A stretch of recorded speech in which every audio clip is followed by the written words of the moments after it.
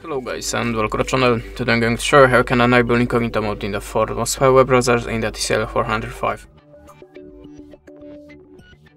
So the first one Opera, click on the tab icon, switch to the private and click on the red plus. That's it.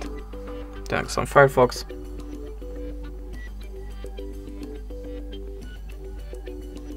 Just give me a second.